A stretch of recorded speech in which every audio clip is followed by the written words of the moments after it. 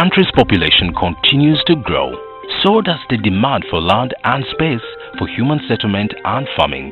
It is against this background that more and more people living in urban centers such as Kampala are turning to urban farming as a solution that will accommodate the lack of space for urban farmers.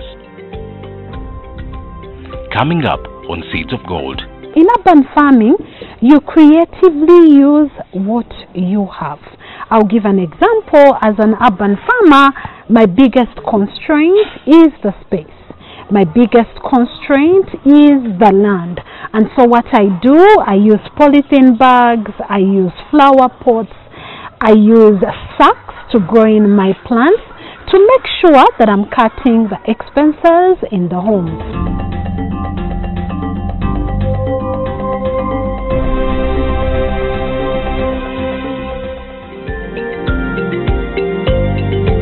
Urban farming is a kind of farming practiced mainly in urban centers on small pieces of land such as a backyard or a veranda. Professor Nambatya is the co-founder of Kwagala Farm, a model urban farm to many urban farmers. Seeds of Gold tours with her as she elaborates the need for urban farming and how you too can benefit. Kwagala Farm started on March 9, 2010. And when we started um, Kwagala Farm, our objective was to cut expenses in the home. Our biggest challenge was to make ends meet. And so we started urban farming, or we started farming on a small garden of half an acre to make sure that we're making ends meet. We're, make, we're, not, we're not buying everything, we're not buying tomatoes or onions, but we're, we're, we're growing what we want to eat. And so when we started, our objective was cutting the expenses in the home. What did we do? Because Kwagala Farm is on half an acre, and that half acre includes the home, the best thing that we needed to do was to creatively use the spaces that we had. And so we started from our lawns, we used the, the flower pots that I used to have in flowers, I removed the flowers and put on onions. And then we started vertical farming. As you can see, the strawberries where we're growing, moving up because of the little space that we had. In urban farming, you creatively use what you have. I'll give an example. As an urban farmer, my biggest constraint is the space my biggest constraint is the land. And so what I do, I use polythene bags, I use flower pots, I use sacks to grow in my plants to make sure that I'm cutting the expenses in the home. Urban farming really focuses on using your backyard to make sure that you're feeding your home healthy, feeding on things that you know, but also making sure that you're able to save some little money so that you're not spending out of the pocket. As urban farming focuses on maximizing the small space one has, it is advised to venture more into accommodative crops such as vegetables, spices, bird and animal rearing. We all know very well that healthy eating requires eating vegetables not once a week, not twice a week, but an urban farmer should consider eating vegetables as a daily meal. The way you eat um, food and maybe sauce, that's the same thing when it comes to eating vegetables. And so, one thing that an urban farmer can do is making sure that they have vegetables grown in the home, and the vegetables can be grown in sacks, they can be grown in polythene bags, they can be grown in pots, but making making that intention that I'm going to use my small space to make sure that I have vegetables in the home. Vegetables, almost many varieties of the vegetables, take not more than three to four months. And so it's, it's one thing that you can do in terms of time, it's top notch, but also it grows so quickly and then you can be able to harvest and feed the family. So on Kwagala Farm, you'll find over 10 vegetables. We do sukuma wiki, we do nakati, we do boga, we do amaranthus, what people call dodo. We also have spinach. We do salads like lettuce, both red and green. But beyond the vegetables, we also do spice farming where we, we have about 10 varieties of spices. Um, we also have beyond the spices, we also do the chicken, we do the cows. When we're to sell, like say the spices, we don't sell them in spice form. No, no, no, no, no. What we do, we get the spices, we dry them organically, and then after drying them in a solar dryer, we pound them. Some of them we do extractions, and then we pack in small um, tins of different Jenga spices. The beauty of urban farming starts with everything small that you have to begin with. Even for as low as 1,500 shilling for a sachet of seedlings from Container Village in Kampala, an enthusiastic farmer is ready to start a farm. When we started in 2010, our capital was 1,500 Uganda shillings. What did we use that for? The 1,500 Uganda shillings is money we got to buy a sacket of tomatoes. And so I went to Container Village, sort of trying to say, after we had a conversation with my husband of saying, we need to cut expenses in the home. So when we buy this sacket of tomatoes, we come and then pour it in a nursery bed. After pouring it in a nursery bed, the whole story continues from make transplanting, after transplanting, to putting it on raised uh, um, sort of like obuzo kubulinyisa. And then from that the tomatoes coming. Because by then financially we were not doing very well um, instead of going to buy pesticides I used to mix mululuza, mwetango and chigaji to spray the tomatoes. I need to be honest that back then it's not what I wanted but it's because I didn't have the money. And so that set me on a journey of organic farming. Laban shows us how to make organic fertilizer and herbs. What I'm going to do, I'm, I want to show you how I make organic medicine for for animals. Yeah, what I do, I will I will get aloe vera, mwetango, mululuza, and tobacco. Then what I do, I will do this. I will cut aloe vera into small pieces like this. Then after cutting aloe vera into small pieces. So I will get also mululuza what I do I will remove leaves like this one. After removing I will brush it like this. Then I will put it in the bucket like this one then after I will get mwetango then also I will remove some branches. This one it doesn't have it has small leaves but I will get I will remove branches like this one.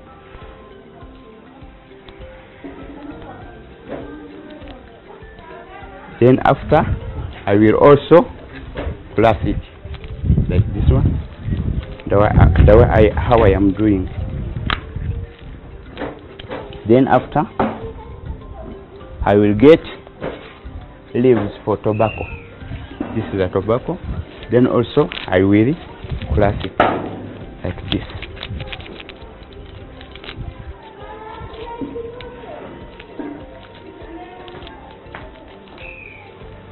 After I will power water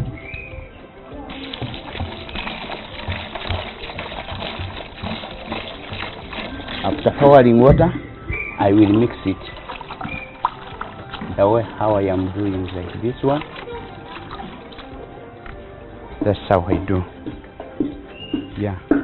Without over researching from all the literature available on farming these days, Professor Diana says that one can start with the local knowledge acquired from their upbringing just like she did. The one thing I'd tell a farmer is to start with what they have and to start where we are. In urban farming, we start with what we have. In urban farming, you don't need to say, I'll go and get a loan or I'll borrow money. No.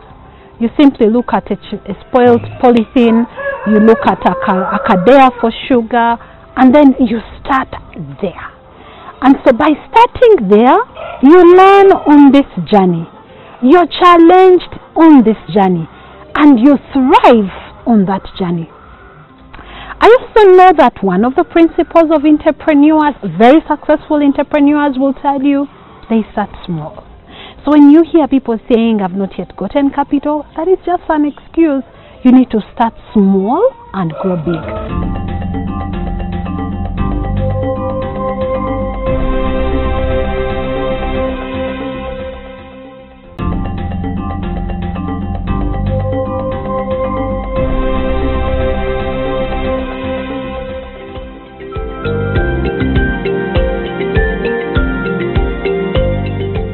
As you approach Kwagala Farm located in Kulambiro Chisasi, the visible urban farms belonging to the neighboring homes alert and lead you to the amazing professor's own urban farm. In fact, this is what you would call an urban village. We'll later learn that Professor Dana has helped members of her community and other areas adopt urban farming as a means of survival. Uh, you're welcome to Kwagara Demo Garden. Why is it called Kwagara Demo Garden? It's a garden for almost a community. It trains the women who are who are not having money to come and train with us at home. Uh, this was made for villagers, like women in the village who have no time to come at home to get training there. So when they get time, built it with um, uh, chain link so that everyone can come from out and stand from out and learn through the, the, the, the chain link without even bringing someone to train him. Um, so every Wednesday, Mama Winnie, the one you have seen behind there, comes with her own women. They call Rabban open for them. She starts training them what to do. This is a walkway. It is like a compound in the front of your house.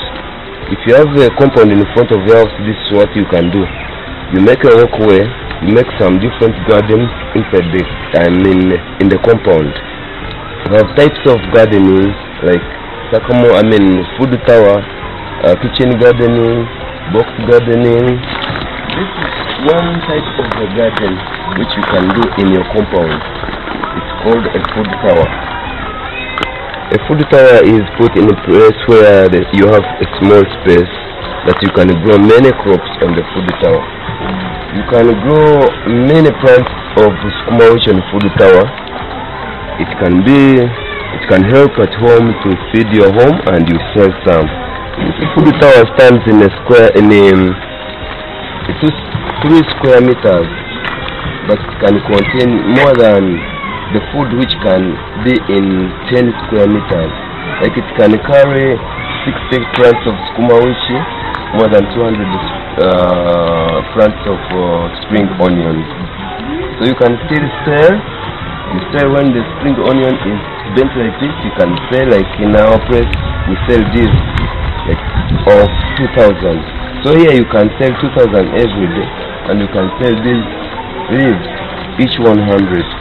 You can see now how much money you're having on one plant, two plants, three plants, three, four, four plants. You can now collect like 10,000 per week. If you're a woman, you do that at your home, you will never lack rice, cooking oil, and sugar. So this is a box garden. This is another type of, of, uh, of a garden. This one helps you in case it is your compound and you have children who play around. They have, food, I mean, they are they play their football. They can't come and play inside here. They can be playing around outside there. But now you have utilized this place to make to make to show you that in case there are no children who want to play around, you can see your compound, design your compound like this, so that you harvest your food. You harvest your you, harvest your your fruits for your kitchen in a very small space. You can every plant has this one, as you can see here. So three plants can feed the whole family in a kind of sauce. Already you have got your spring onions, you have got your skuma wichi, you have got these fruits. You can still you can still feed your family. We have more plants in this garden. Banana plant looks like I can can walk like ten banana plants. Because this banana, if it yields properly, it will yield the product of many plants, only one. How? We feed it with this one. This is chicken waste. We just tie chicken waste, we dig something near the banana, two feet deeper, two feet across, two feet across. So that when water comes from rain, washes this um, uh, urea from this chicken waste, the banana to feed the banana. That's why you look, you look at it is strong. Eh? You have to leave it with two other young ones, you can see. This is another type of food tower. It is cheaper because the other food tower was expensive because you can't easily get that that stuff, that net. Here we use logs and this wire mesh, chicken, but I mean bird mesh. Eh? You plant your logs inside in, in the center, you pour stone. After pouring stone, you make these logs stand outside, one feet from the center. You put a mesh around this logs, you pour soil. Now, as I was counting for you, 60 plants of skuma which now you can see it properly. Each row has 8, 8 times 1, 2, 3, 4, 5, 6, 7, 8, 9, 10, 9. As we started training the women, we, we, we took the deliberate effort to say, let's reach out to communities. And our first community was the Kulambiro community. We also reached out to the women in Chiruga, in, uh, in Luwero. So we, we, we sort of started now connecting with communities where we thought we could support people to do similar, similar things. And so what happened was that when we started training the women, it not only opened Kwagala Farms opportunities, it also created what we call our impact. When you walk through our village here, women are farming, though in small spaces, but, but they really show you how far we've come. So, how far Kwagala Farm has gone is the work that the women have taken on. Beyond that, we've received a number of awards. In 2015, we received the award by the Netherlands Embassy, DSC, UKLM, and the Vision Group. In, in 2016, we were given a global award called the American Express Again Leadership Award. This is the first time this award is being given in Africa and to a woman. And then in 2017, we were given the Women Champion Award by the Private Sector Foundation. But with these awards, we've also had the opportunities to sort of like establish mentors.